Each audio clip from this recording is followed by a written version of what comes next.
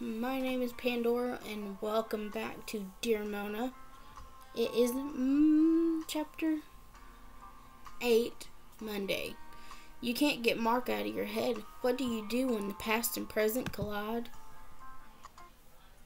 Stupid ads.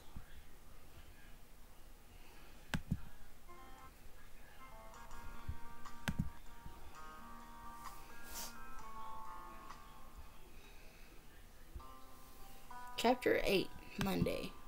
I didn't know what to do. I had made plans with Sean, but I couldn't get Mark's invitation out of my head. What would happen if I went to meet him, with him? What would happen if I didn't? You made plans with both of them? You dirty girl, you. I told you. I didn't make plans with Mark. He just wants me to meet him. It's some sort of test, I think. For what? I don't know. This is also confusing. Well, he has some big cojones to think you'd go. Obviously, you're not going to break your plans with Sean. Not even for your on the stick ex boyfriend. Are you sure about that, Max? Look at her face.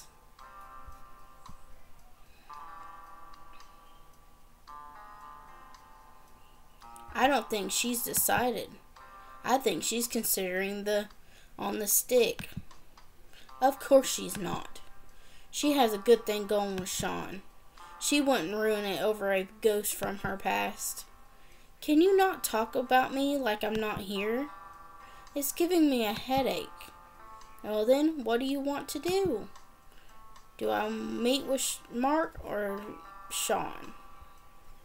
I'd say keep your promise to Sean. I made solid plans with Sean, and I want to keep them. He's been really sweet to me.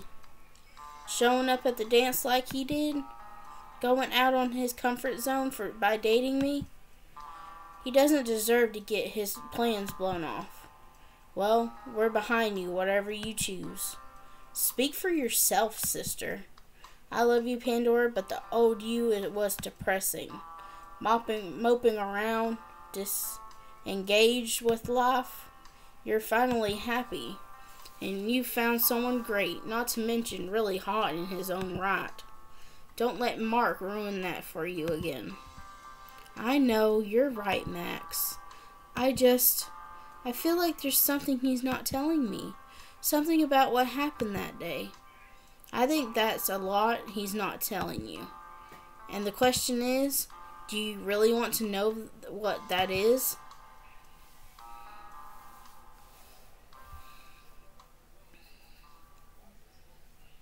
Miss Lee was my English teacher. Of all the teachers in the school, she was the most ex- exquisite one, but she was also one of the most caring ones. I have to say, the poem you turned in today was inspiring. Oh, um, thanks. Was it true? Did you once try to run away? I did. I didn't make it past Port Keepson. That must have been some adventure.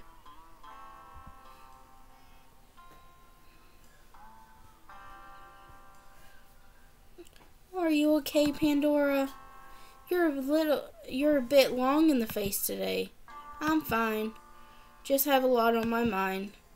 I see. Does this have anything to do with the matters of the heart? Miss Lee says I'm sad because of love troubles. What should I say? Admit it. It does. I'm really confused at the moment. Love is quite confusing. I should know. I've been married six times. What? No way. Way. But I've learned a lot too. So if you ever want to talk, I'm here. Thanks, Miss Lee. Hmm. Well, how about a little unsolicited advice? Sure. Whenever I'm facing with a tough situation, I tell myself, it's better to be happy than to be right. I like that.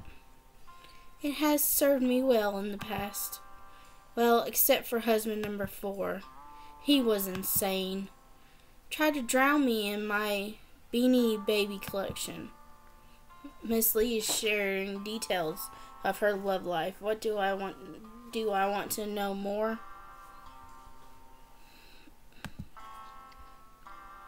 Um, what? Long story, but I think I drove him crazy with my stuffed animal obsession. He was finding them everywhere. And one day he finally snapped. Told me if it was him or them. I said them. He wasn't too happy about that response. Wow. Sounds very traumatic.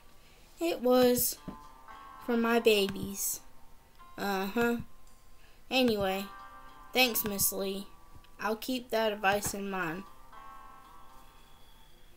Later in the evening, ugh, I don't want know what to do, but I do know one thing.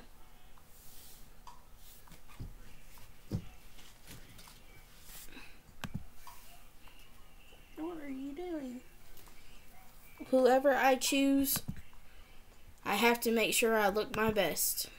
I don't have any coins. Well, I do. I got 10. I'll go with this. I don't know how this evening will turn out, but I know I'll look darn good. Like I belong on the runway. This helps with my confidence. It doesn't help with making my decision.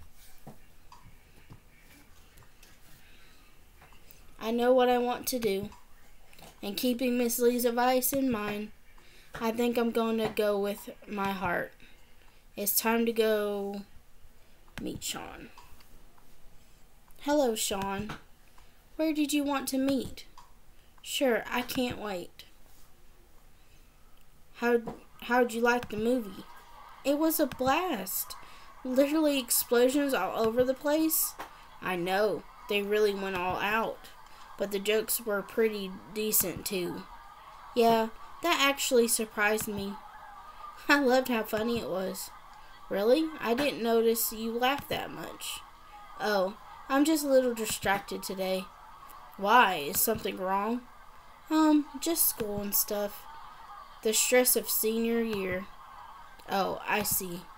But hey, even if you fail, you can be a stylist or a fashion designer. Your sense of style is out of this world. I hate lying to Sean, but there's no way I can tell him what's on my mind. I wonder if Mark is still waiting for me. Well, how about I pick you up at school tomorrow? I'll take you for a ride on my bike. It will clear your head, you'll see. Sounds like a plan. Great. What's that? Pandora. Can you please come out? Um, OMG, I can't believe Mark's at my window. Keep it down, Mark, or Mom will notice. I'll be there in a minute. Thanks for coming with me. Well, you were impressed. So tell me, why am I here, Mark? I wanted to show you something. A letter I wrote you the day after I moved. I planned to send it so many times, but I never did. Oh? Yes. What do you want to see? Do you want to see it? Okay. Here it is. Dear Pandora, I'm going to start by saying I'm sorry.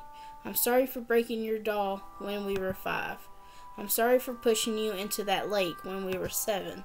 I'm sorry for calling you a tampon when you were twelve. I'm sorry for putting that cockroach in your hair when we were 14. And most of all, I'm sorry I wasn't there to meet you on our first day of high school. I'm sorry I left without a word. I'm sorry I left you think, thinking the worst. I'm sorry I never explained. And I'm sorry I wasn't worthy of your love. Please forgive me. And please forgive me for these past three years. I added that part an hour ago. I mean it, Pandora. I'm so sorry. You've said sorry enough times, Mark. I just don't know if I can ever forgive you. Not if you don't tell me the truth about why. Well, there is something else I wanted to tell you. It's about the past three years. I'm listening. I came to see you a few times.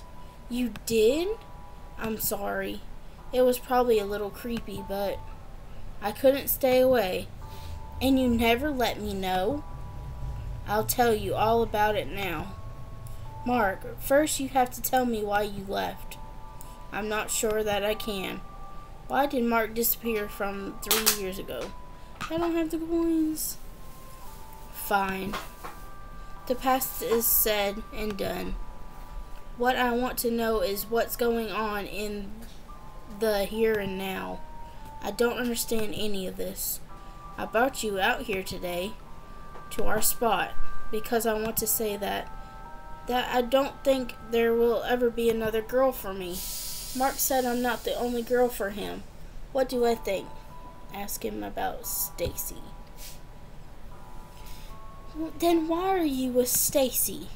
Well, I met Stacy one night and thought, why not? I have to get over Pandora and maybe this will help. But I knew immediately it wasn't right. That I could never be with her. Now I'm surely than ever. I could never be with anyone when all I want is you. Stacy means nothing to me, and she never will. Oh, Mark, I don't know what to say.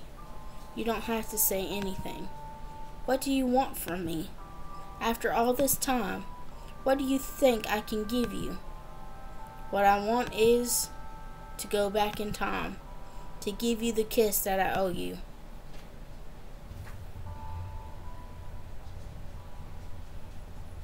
Oh no.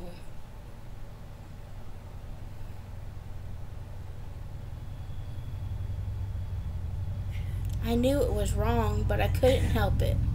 There was a part of me that was always aching for this, dreamed of this, and yawned for Mark for so long. And now all these dreams were coming true. Ooh, she's making a big mistake. Well, that is it for uh, this part. If you're liking this series, hit that subscribe button. There's a lot of viewers that are not hitting that subscribe button, so help a girl out. And if you're liking, hit that like button, hit that share button, share with all your friends and family, and I will see y'all in the next episode. If you're not afraid, open that box. Bye, guys.